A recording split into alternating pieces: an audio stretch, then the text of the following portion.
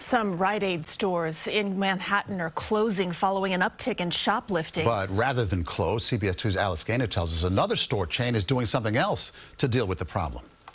Though the 30 Gristedes and D'Agostino supermarkets in New York City have seen a significant increase in shoplifting, Chairman and CEO John Catsimatidis says he won't close any. He's just upping security. We are hiring more and more security. We hired a lot of retired cops. Some businesses tell their employees not to confront shoplifters, but Catsimatidis is taking a different approach. You want to stay in business? You want to keep the store open?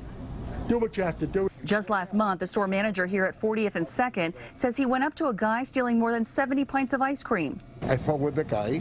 I grabbed the bag. The handle broke and he realized that he can't win, so he ran out. Chris Paleophilis has been with the company for more than 40 years. In the past, he says would-be thieves felt threatened by a call to police. Now, call the police. I don't care what they're going to do to me. So that's where they leave.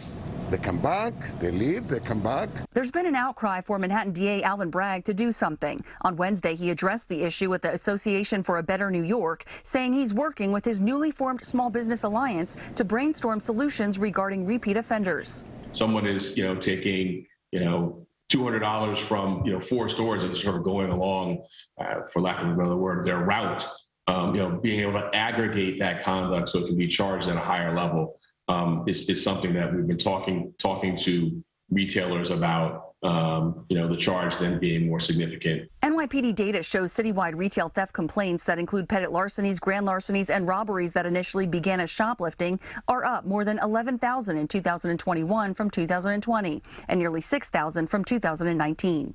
District Manager Kevin Jordan says meat remains one of the top stolen items, along with Haagen-Dazs ice cream. Those are the hot ones, Dove soap, Tide. He says thieves have also been swiping things like olive oil, basically anything that's considered more expensive.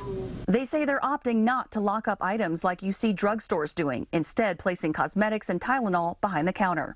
In Murray Hill, Alice Gainer, CBS 2 News.